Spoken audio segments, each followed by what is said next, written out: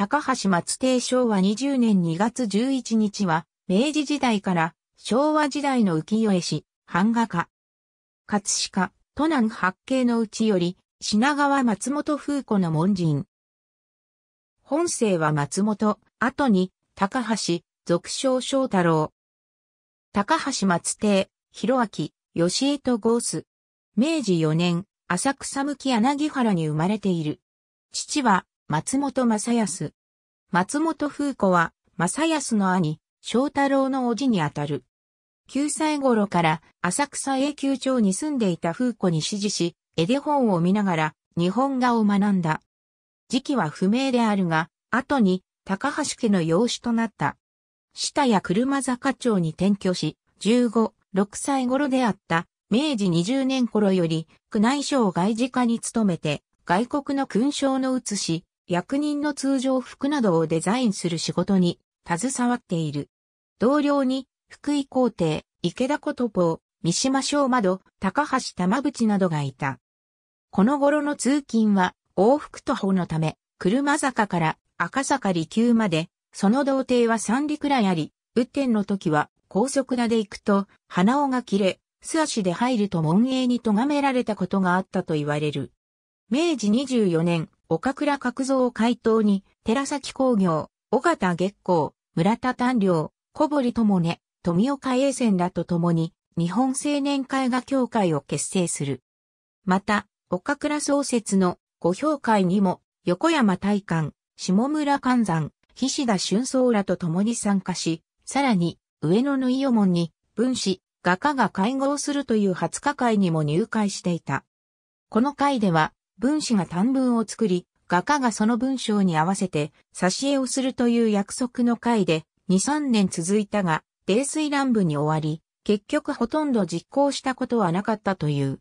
会員は、作家が、岩屋さざ波、坪谷水成、大橋音は、高山著牛、泉京香、尾崎紅葉ら、画家は四大取引与忠、村田丹良、島崎龍雨、寺崎工業、富岡栄泉、小堀智音らであった。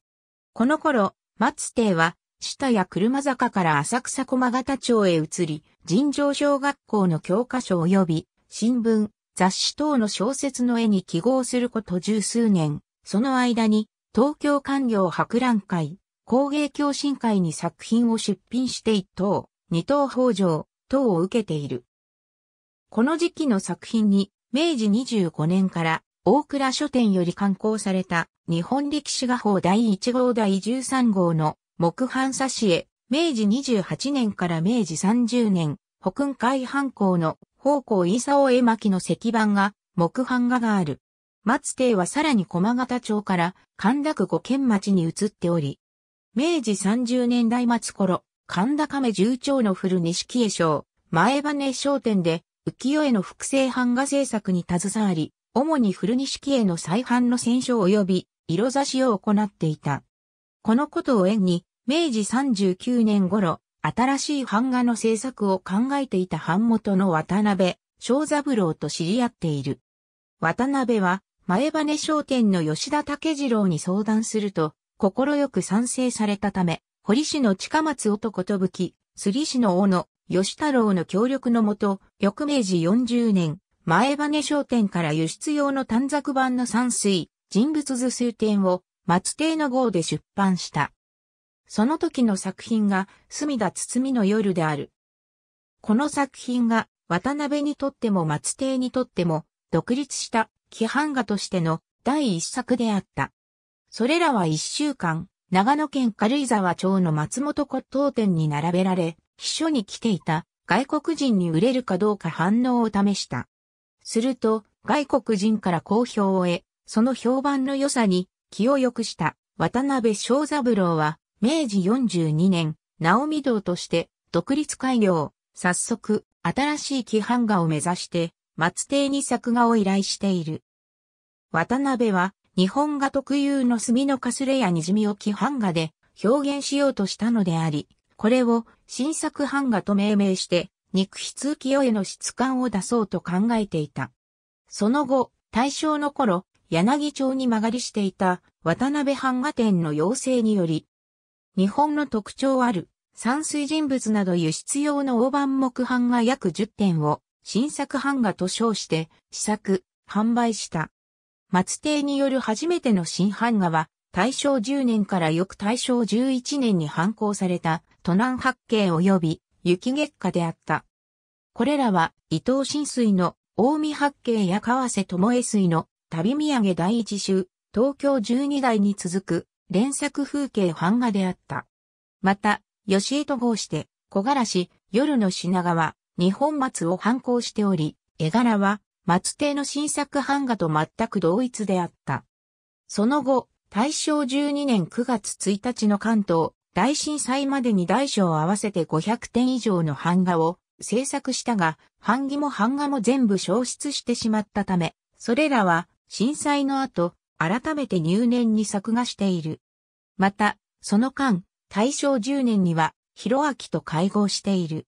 その後、昭和4年から昭和7年頃にかけて、美人画や犬、猫等を描いた規範画を金子誠水の不水画坊から出版した。不水画坊からの作品では、昭和4年12月25日に刊行された四季の富士が最初と考えられ、昭和7年6月刊行の銭湯が最後の作品と思われる。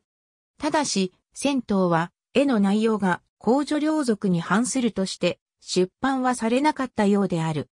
その他、時期は不明であるが、美術者から新興版が短冊12ヶ月という連作を刊行した。昭和6年には、東京府下、矢口町和座小林326番地に再び転居し、昭和17年まで矢口に在住、大田区近郊の風景画を数多く描いた。その後、東京府下茨区新名町に転居しており、同地において、昭和20年2月11日風をこじらせて、併発した肺炎により逝去。去年76。墓所は、台東区鳥越のことぶき松院。ラフと猫。ありがとうございます。